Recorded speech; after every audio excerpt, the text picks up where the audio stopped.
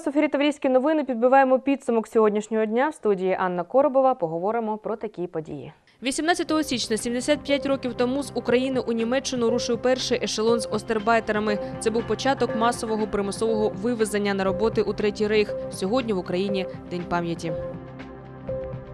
Бути чи не бути новій малій архітектурній формі на зеленій зоні поблизу салюта. Допоки незгодні протестують і скаржаться, магазин майже звели, та конфлікт, схоже, не тільки не вичерпаний, а навпаки, стрімко розвивається. Для багатьох херсонців вже стало доброю звичкою купатися на водохреще. Тим же, хто цьогоріч наважиться зануритись вперше, необхідно проконсультуватись з лікарем та уважно вислухати рятувальників. Про це та інше докладніше. Друга світова наймасштабніша та найжорстокіша війна в історії людства. Про страшні події розповідають чимало книг та фільмів. Багато відомо про героїв, які воювали на фронті, про важку долю в'язнів концтаборів. Та зовсім мало інформації про тих, кого примусово за часів війни вивозили до Німеччини на роботи. 18 січня 1942 року з Харкова до Кельна вирушив перший ешелон, в якому було понад 1100 робітників. Усього ж на території Німеччини та окупованих нею країн під час Другої світової на примусових роботах працювали 13,5 мільйонів іноземних робітників. Осторбайтери цим терміном виділяли робочу силу зі сходу від німців. Значно відрізнялись і умови праці. люди, які добровільно або недобровільно примусово були вивезені до Німеччини з метою, е, так би мовити, займатися сільському господарстві, промисловості, одним, одним словом, замінити німців, які воювали на фронті. Перші остарбайтери їхали працювати до Німеччини переважно добровільно. Неабияку роль у цьому зіграла агітація, над якою ретельно попрацювали німці. По-перше, була агітація, відповідна. Частина людей, до речі, поїхала добровільно.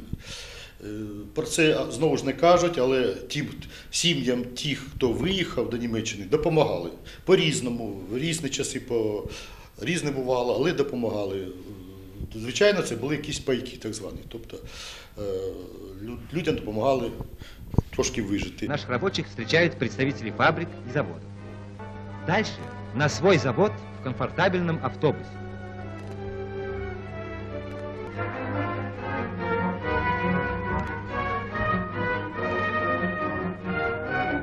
Саме так розповідали про гідні умови праці та високу заробітну плату у Німеччині. Усміхнені обличчя співвітчизників, хороше забезпечення. На цю агітацію спокушалося чимало людей. Проте життя остарбайтерів на заробітках було зовсім іншим.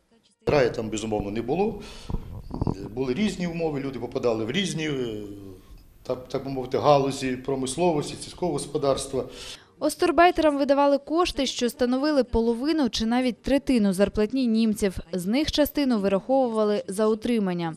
За будь-які провини передбачалися суворі покарання від тілесних до відправлення у штрафний чи концентраційний табори. Потік добровольців не задовольняв потребу у робочій силі, тому вже навесні 1942 року нацисти почали проводити масові облави населення та примусово вивозити людей на роботи. До Німеччини без розкладу відправлялися тисячі поїздів. Тільки з території Херсонської області було вивезено 40 тисяч громадян. Вивозили, е, як правило, неодружених, е, так би мовити, здорових, е, за світою в першу чергу. Марія Миколаївна народилась у Німеччині 1944 року. Тоді її мама тяжко працювала в одній німецькій родині. Мамочка попала в город Ханзен в Германии. Тетя Галя тоже, по-моему, где-то там рядом была. А бабушку забрали в концлагерь. Мама работала у э, хозяевов. Хозяйка была очень жесткая.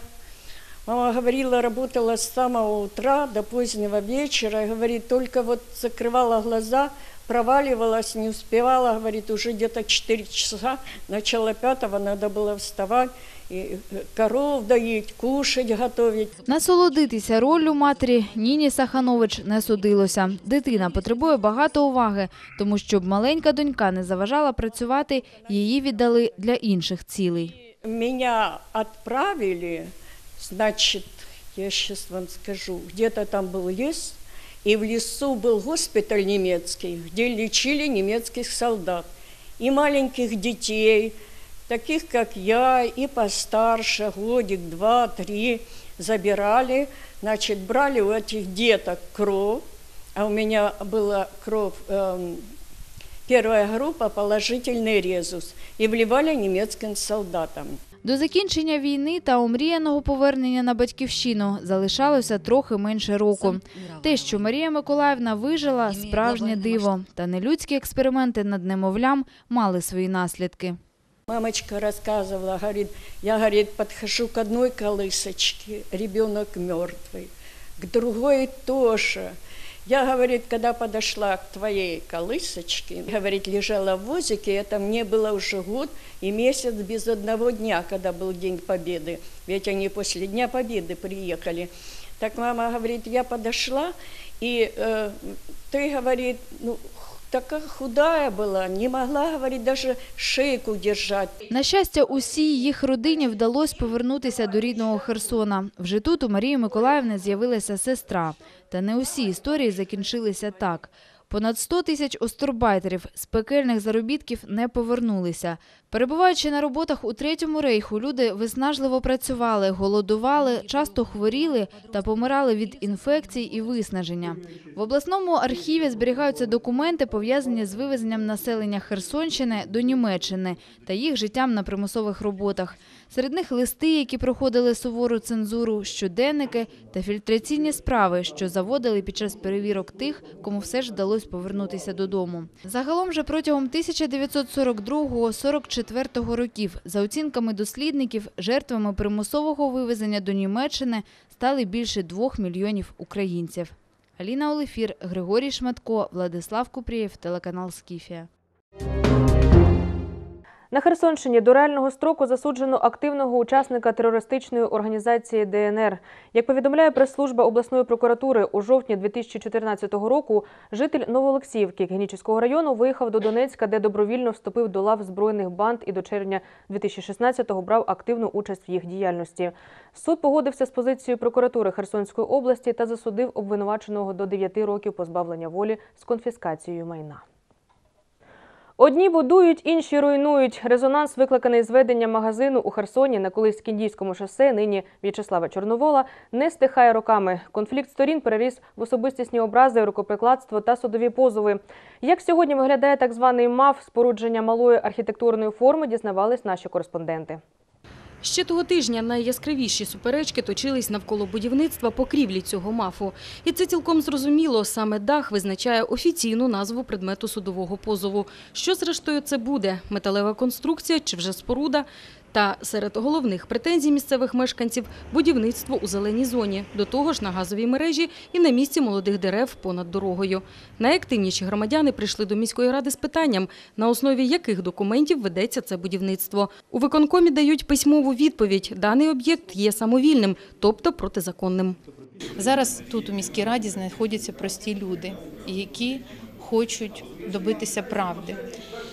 Я, як людина, як депутат Херсонської міської ради, намагаюся підтримати, відстояти правду, бо правда вона є і вона одна.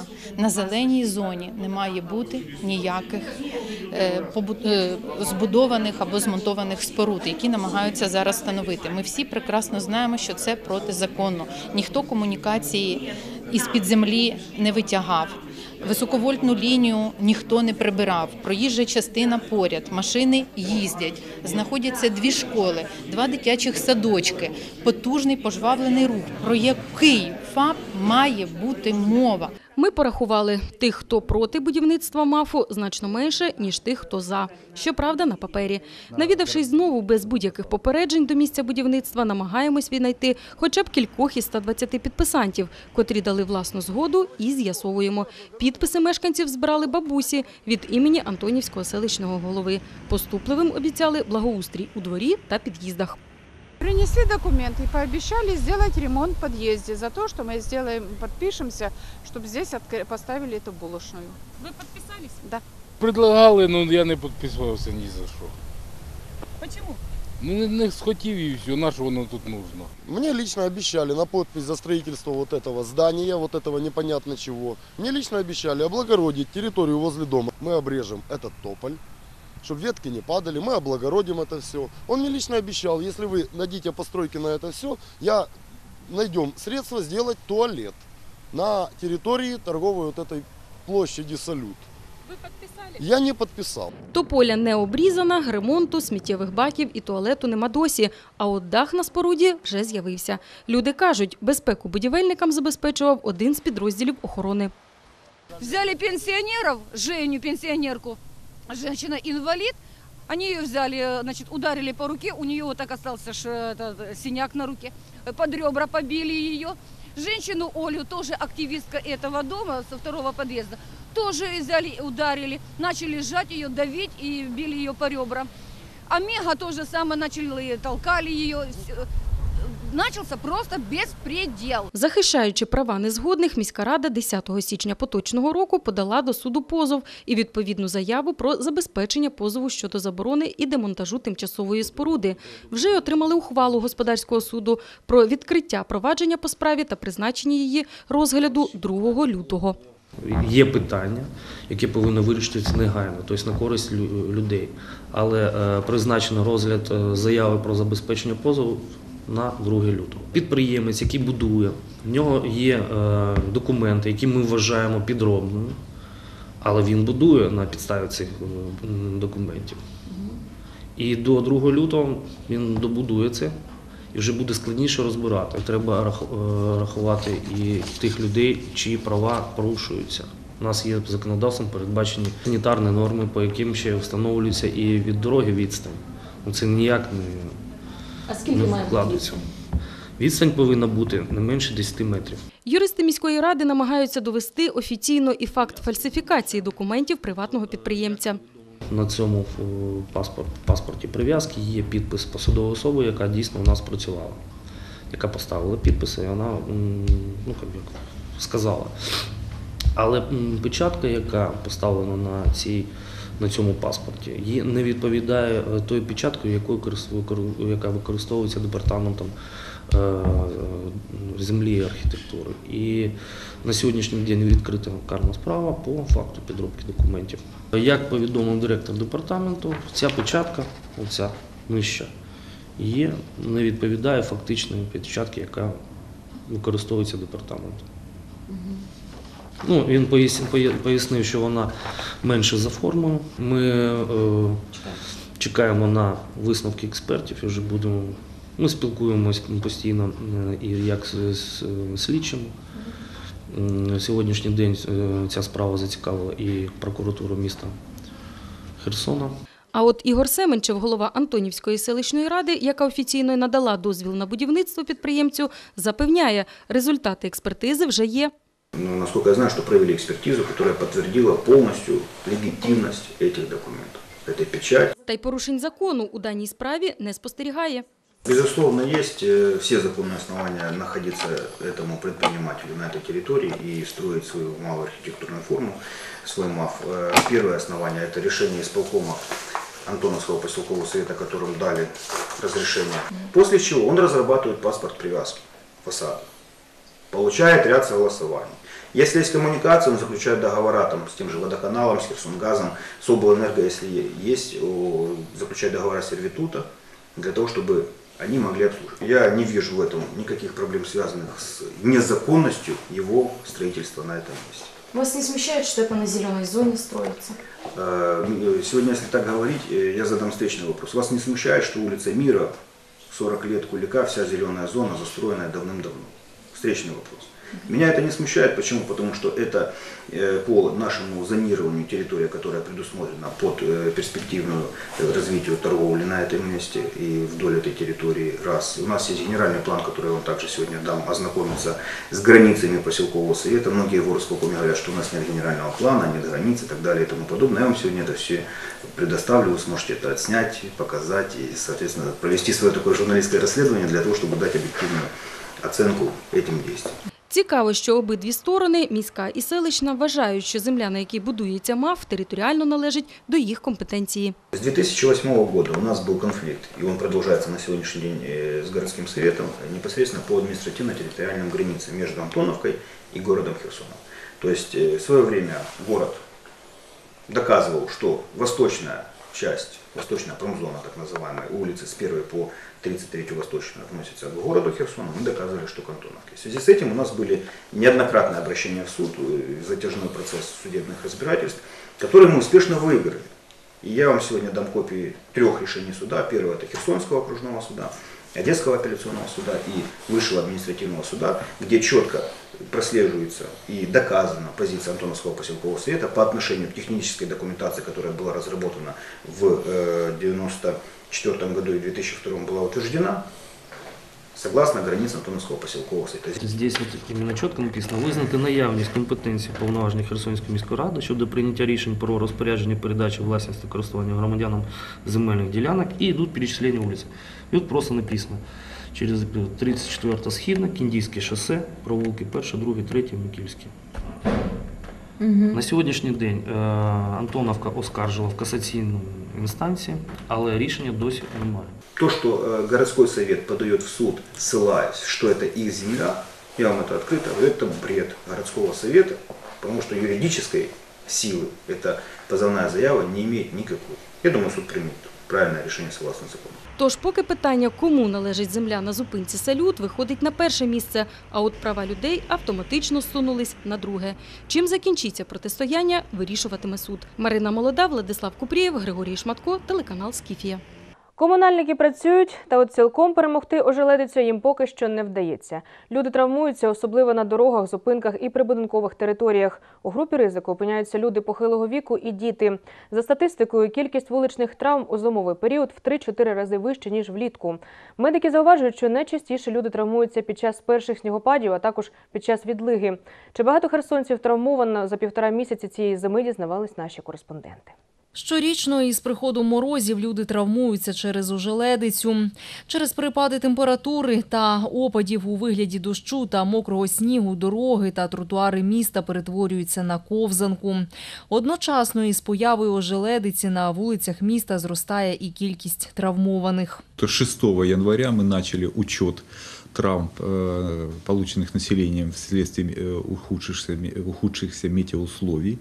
Значит, на сегодняшний день э, за этот период к нам обратилось 460 пациентов. Из этих 460 обращений э, 283 человека или 63% это травмы, полученные вследствие э, метеоусловий. Очень большое, большое напряжение, большая работа идет травмпункта, травмы амбулаторные. Оказывается помощь, э, даются рекомендации и направляются на амбулаторное лечение уже в поликлинике по месту жительства. Найчастіше люди падають та травмуються під час ожеледиці в тих місцях, де не посипано піском на прибудинкових територіях та тротуарах.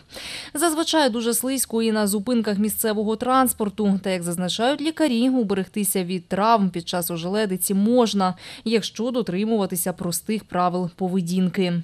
Ну, саме головне це не поспішати, бо завжди це дістати травму це менше, ніж секунда. І потім це місяці проблем, тому не поспішайте.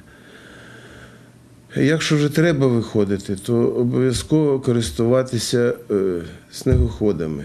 Взуття має бути без, особливо дівчатка всяється, без всяких шпілек, без каблуків. Ходити треба обережно. Якщо бачите, що якийсь, іде якийсь склон, наклонна плоскість, то краще її десь обминути, обійти. І дивіться обов'язково під ноги. Якщо вже падаєте, то вже падаєте таким чином, щоб не треба виставляти руки або е, утримуватись. Ну, падайте собі, падайте в сніг, приймайте позу ембріона, руки, ножки сігнули, голову піджали до груди і впали собі на бік, прокотились трошки, встали і пішли. Таким чином, як правило, ніяких травм, ніяких ушкоджень люди не, не дістають. Андрій Лємішев на лікарняному ліжку з 9 січня. Зранку він йшов на роботу, впав і отримав перелом гомілки. Його вже прооперували, тепер чекає на одужання. До роботи потрібно повертатись якнайшвидше. Вдома на нього чекають троє дітей та дружина, яких потрібно забезпечувати. Ногу зафиксировали, сделали мини-операцию на спицу в ногу и под гирю. И 13 числа заведующий провел операцию, то есть в ногу вживили имплантант. Ну, можно сказать, что вернули детям отца. Хочу выразить благодарность всему коллективу больницы, начиная от заведующего и заканчивая с санитарками за профессиональный уход.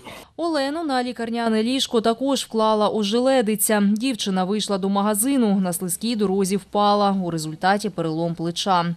Пацієнтку прооперували. Тепер у неї ще кілька днів у лікарні та місяці реабілітації, та вже не у медичному закладі. Как-то нога наверх уходит и упала. Да, было сильно больно, и потом уже попозже вызвали потом скорую, обезболили, как-то завязали и поехали сюда. Часто після падінь людина, підвівшись, далі поспішає у справах. Буває ж, після падінь лікарі діагностують переломи рук, ніг, травми коліна, а іноді навіть переломи стегна. У будь-якому випадку, якщо ви впали і відчуваєте сильний або ж періодичний біль, краще обов'язково звернутися до лікарів. В Україні 19 січня відзначається хрещення Господнє, третє і завершальне велике свято різдвяно-новорічного циклу. Вважається, що в ніч з 18 на 19 вода набуває цілющих властивостей. Щоб відчути чудодійну силу, люди її не тільки п'ють, а й купаються у водоймах. Згідно з народними повір'ями, таке купання забезпечує силу і здоров'я на весь наступний рік. Але якщо повестися бездумно та необачно, то можна втратити не лише здоров'я, а й розпрощатись із життям. Тому лікарі та рятувальники кожного року нагадують елементарні правила, які обов'язково знати, якщо ви зібрались долучитися до цієї екстремальної традиції. Лікарі говорять, що занурювання в крижану воду це справжній екстрім для організму. Попри комунальні проблеми, купаємося ми у теплій воді. Та й по вулицях взимку щодня в одній білизні не ходимо. Экстремальные, потому что они это те условия, в которых организм не сталкивается в повседневной жизни, и он попадает в состояние стресса. А любая стрессовая ситуация это ну, пагубно сказывается на здоровье человека. И поэтому, если человек решил все-таки прыгнуть в прорубь, ну, в этот большой праздник, то желательно начать к этому готовиться еще заблаговременно, хотя бы летом минимум. Наші пращури століттями купалися на водохреща, але сучасні покоління їх здоров'ю можуть тільки позаздрити. В біблійних і народних оповіданнях кажуть, що в цей день біди не трапиться, але береже Бог береже, а допомагатимуть Всевишньому у цьому рятувальники і лікарі, котрі у Херсоні чергуватимуть у спеціально визначених місцях. Купатися треба у строго визначених для цього місцях. В місті Херсоні це проспект Ушакова набережна, це парк Слави набережна. Також рятувальні пости та медики е, будуть слідкувати за безпекою вашого купання в гідропаркі, е, пляжі Лілея та Молодіжному. У загальних порадах лікарі та рятувальники одностайні та розписують їх покроково. Приготуйте чистий, теплий та сухий одяг, розігрійтеся фізичними вправами, взуття знімайте тільки в останню чергу. Якби це жахливо для декого не звучало, у воду потрібно заходити повільно, а не різко пірнати. Особливо бережіть голову. Окунаться нужно ну, постепенно заходить, нельзя резко нырять, потому что если холодная вода в такую погоду попадает на голову, ну, голова сразу оку- ощ- ну, ощущает холод, это может не отрицательно сказаться на работе сердечно-сосудистой системы, а именно сердца. Может пройти сбой ритма произойти, может резко подняться давление. Ну, это стресс для организма. Після виходу з ополонки одразу ставайте на якусь підстилку та промокніть вологу, що залишилося, великим махровим рушником. Про алкоголь взагалі не думайте, радять лікарі. Ви тимчасово зігрієтесь, а свій організм лише обдурите. Со временем просто э, притупляется ощущение ну, той или иной температуры, потому что замедляется передача рецептора, с рецепторов нервных импульсов головного мозга, то есть что организм уже не может объективно, ну, адекватно оценивать происходящие события, в том числе вот и температуру низкую. Из-за этого вот тоже может ска- отрицательно сказаться на работе различных органов и систем.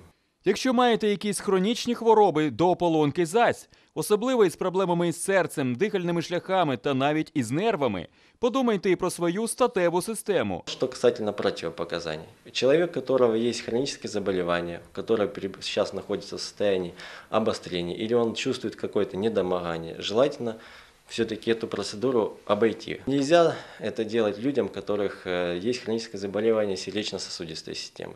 Это такие, ну, как известная терминология, ишемическая болезнь сердца, стенокардия, нарушение ритма, э, проводимости, артериальной гипертензии, какие-то врожденные или приобретенные пороки сердца, хронические заболевания дыхательной системы, это обструктивные бронхиты, бронхиальная астма.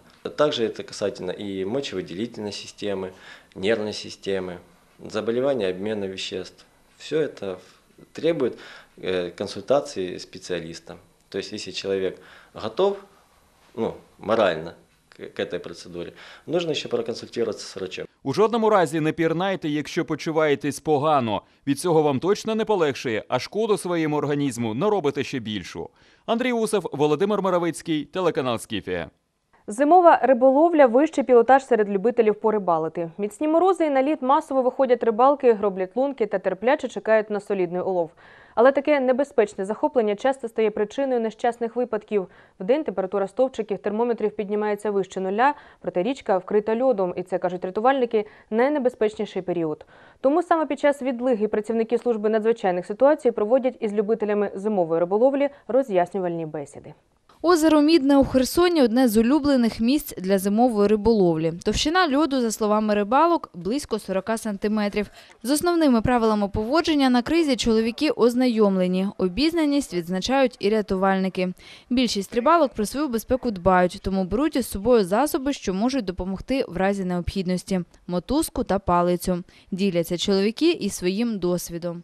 У вас были какие-то случаи, чтобы там проваливаться под лед, может вы или может кто-то Было, было по-всякому это. Помогали кого-то, доставали? Давно было, да. А можете рассказать вкратце, как это произошло? Ну, это было на Лимане. э, Где-то, по-моему, в Станиславе. Оторвал льдину. Вот. И мы переправлялись в Брод. Но нам повезло, что еще глубина была, как говорится, Небольшая. Да, небольшая глубина, мы по дну переправлялись. А так уносило в море, туда, в лиман уносило, потом ветер сильный был. Вот. Там был случай. Несколько раз было. Руки вот так и вылазил, и даже без всякого. Это лично вы проваливались? Да. И сальдины снимали тогда, но меня не снимали, конечно. А що використовували для порятунку? Лодка. Тягали лодку, ёршик. Рятувальники поспілкувались із любителями зимової риболовлі, роздали кожному пам'ятки та листівки з правилами безпечного поводження на кризі та порадами надання допомоги постраждалим. Ми знову і знову попереджаємо мешканців Херсонщини про те, щоб вони дотримувались правил безпеки на льоду під час зимових е, ігор, під час зимової риболовлі. Про небезпеку виходу на лід має пам'ятати кожен. Під час відлиги від риболовлі краще відмовитись. Не варто пускати на лід дітей. Погодні умови взимку часто змінюються, тому кожний крок по кризі є особливо небезпечним. Завтра богоявлення або хрещення Господнє. 19 січня за свяченою водою приходять навіть ті, хто взагалі не відвідує церкву. Всі вірять у її цілющі властивості. Та аби хрещенська вода принесла максимальну користь, будьте щирі серцем, чисті душею та щедрі на добро. Гарного вечора. Побачимося.